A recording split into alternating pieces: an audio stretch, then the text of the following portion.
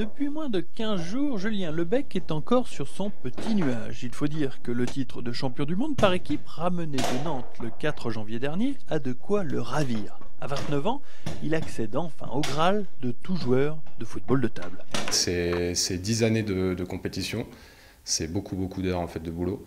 Et euh, voilà, c'est le titre ultime, donc euh, très fier, très content. Une consécration pour ce Troyen licencié dans un club de la région parisienne, lui qui a découvert le football de table un peu par hasard. Ça arrivé comme ça, en jouant comme ça avec les amis, et puis, euh, et puis en fait je me suis pris au jeu, et je me suis dit bah, pourquoi pas faire de la compétition.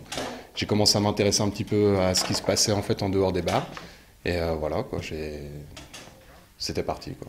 Dans l'aube, on se réjouit de cette notoriété soudaine auprès du baby-foot.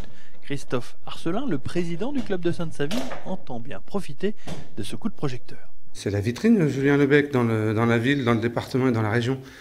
Euh, à Troyes et dans la région, il n'y a qu'un club, c'est celui de Sainte-Savine. Julien ne joue pas à Sainte-Savine, mais vient s'entraîner à Sainte-Savine. Donc évidemment, quand il vient, les joueurs sont heureux de le voir jouer. Hein. Un champion du monde, il n'y en a pas beaucoup. Un football de table qui intéresse beaucoup de monde dans la sphère médiatique. Les matchs du championnat du monde étaient notamment diffusés sur Eurosport 2. Il y a aussi les sponsors, il y a quand même pas mal de choses. Il y a aussi des, des personnalités qui commencent aussi à s'y intéresser. Donc c'est vrai que c'est quand même une reconnaissance et quelque part sortir un peu des cafés, pour nous c'est euh, énorme. Un titre qui en appelle peut-être d'autres pour Julien. Le Troyen va continuer en tout cas de s'entraîner comme il a l'habitude de le faire jusqu'à 5 heures par jour.